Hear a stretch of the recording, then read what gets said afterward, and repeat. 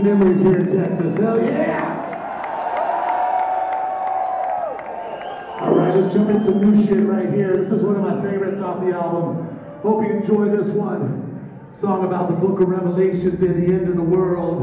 It's a song called The Book of Seven Seals.